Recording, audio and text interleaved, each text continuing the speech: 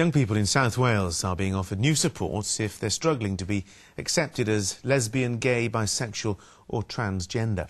In the first of our new series from Fixers, the campaign that helps young people make a difference, we meet a young man from Cwmbran who wants to tackle stereotypes and promote better understanding.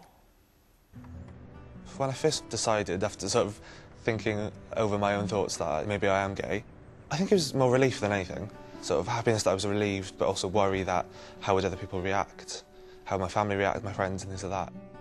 Looking back on those struggles and realising I didn't have much support and had to go through it on my own, there was really nothing uh, when I went through school. So I think that was a key turning point for me to say I'd like to offer that support to others. I'm Scott McCarthy, I'm 19 and I'm a student at the University of Wales Newport.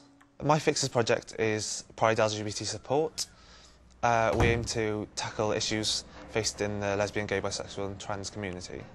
PRYDE stands for uh, pride, rights, you, different and equality.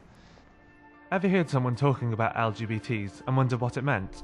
My Fixers film is getting its premiere at my first workshop. Nine down, happy, three letters. Gay. Coming out, I, I think I did feel quite alone. I was looking for that support network, looking for someone to tell me that what I was thinking was maybe wrong in some cases or was right in some cases. Um, but I didn't have that at all. So I had to sort of sit there and figure it out myself, which took a long, a long, long time. Fag. Excuse me? I said, have you got a spare fag, please? Oh, nah, sorry, I don't smoke.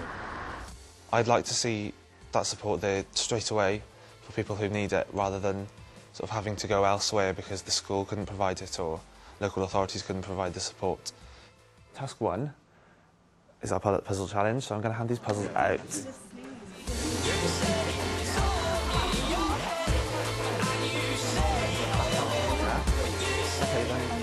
Bingo. Bingo. Ah!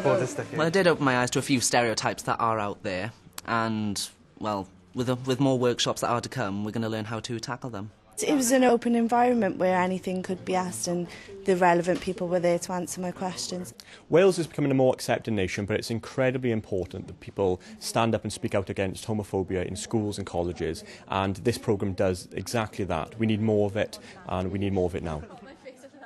We'd like to show uh, the heterosexual community how to understand the struggles of the LGBT community and vice versa, so that they can sort of understand each other and hopefully bring both communities closer together. To make a difference to one person's life would be great, but if we could change society, I think that would be fantastic. Well, pleased to say we're joined now by Andrew White from Stonewall Cymru, the organisation which campaigns for equality.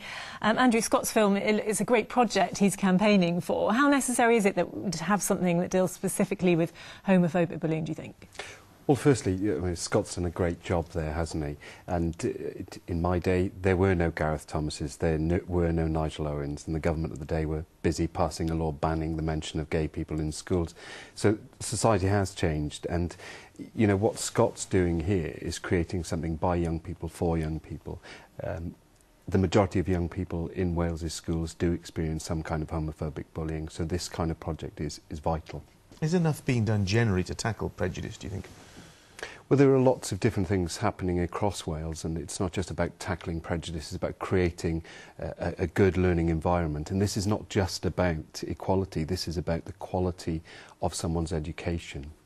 Do you think we are moving forward as a society and in Wales in particular? I mean, this week we saw MPs vote um, in favour of gay marriage, for example, uh, and we see Scott there campaigning for a new generation of uh, people to stand up uh, against homophobic bullying. Do you think there's progress? Well, there's definitely progress here in Wales. We've, we've done research showing that the vast majority of people in Wales support not only things like equal marriage, but they also support the protections that we fought hard to secure, and they support work to tackle homophobic bullying in Wales's schools.